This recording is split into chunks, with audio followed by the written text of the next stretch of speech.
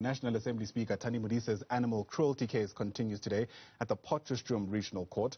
Modise's legal representative has made an application for uh, discharge following evidence by a former caretaker at the farm. Our reporter Bafedile Moerane has also been following the story and joins us now live for the latest. Bafedile, part of what we've heard from the court itself is just the call it worrisome state that many of those animals were in. Help us place how that's significant in the case.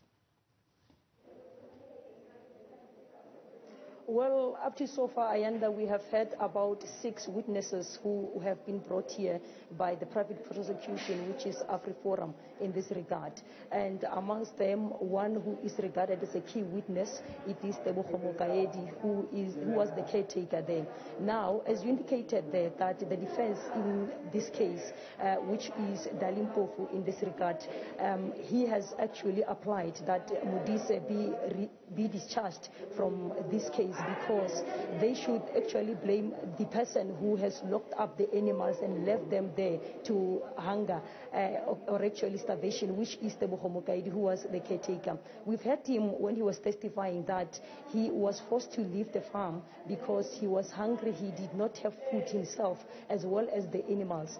Then he was forced to lock up, in particular the pigs, the sheep, as well as the goats, uh, and left and went, go, uh, went home in Mahikeng. Therefore, the defense is saying that the person who should be held accountable in this regard, it is him because he's the one who locked up those animals inside. Therefore, they couldn't get any chance to go out uh, to nibble outside in the grass.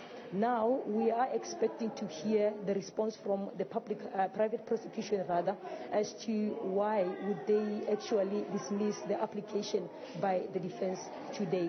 Now, you would remember that um, as one of the, the, key witnesses there who also came to, uh, to the stand, uh, the, the animal doctor has indicated that um, most of the animals, after doing a post-mortem in one of the dead sheep, he indicated that they died or emaciated due to uh, dehydration or due to starvation.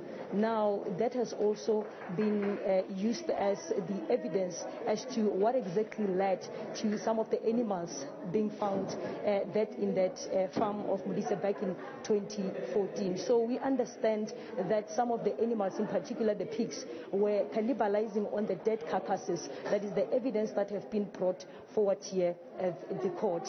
Now, this case, it is taking place at the time of the African National Congress step-aside rule. We've seen a lot uh, of people asking on social media as to whether Thandi Modise will also step aside. I have engaged the African National Congress in the province, um, which is led by the IPC, asking if she will also step aside because today it is the D-Day for all those who are facing charges at court to step aside. And they have indicated that she's not part of the people in the list that has been sent to Luthuli House.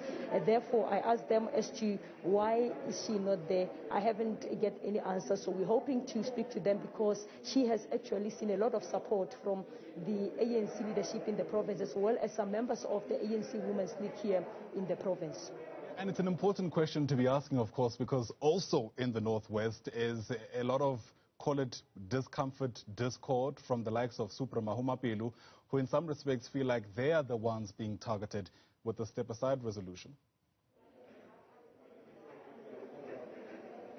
Well, of course, we are still waiting to see if we can get an answer from the IPC coordinator, Hlomane Chauke. He was also uh, part of the court yesterday. He was here to support Thandi Modise. I have posed the question to him over the, uh, during this week, actually, and he indicated that the name of Thandi Modise is not on the list of the five people who have uh, been sent to Luthuli House to the Secretary General developments taking place side by side there at uh, the Northwest Province. Bafedile Moerane, thanks very much indeed joining us live now uh, at the Potchefstroom Regional Court, watching this animal cruelty case involving National Assembly Speaker Thandi Modise. But in the backdrop, of course, real questions being asked about ways through which she is or isn't affected by the step-aside resolution, which is causing a lot of unrest elsewhere in the province. We're watching those for you, no doubt. Still